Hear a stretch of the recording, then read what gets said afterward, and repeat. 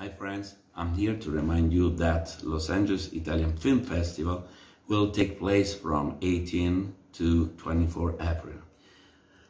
Obviously, it will be all in streaming and you can follow us on losangelesitalia.com.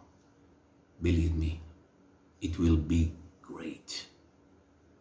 So, from Kaspar Capparoni, Rome, Italy, ciao. See you soon.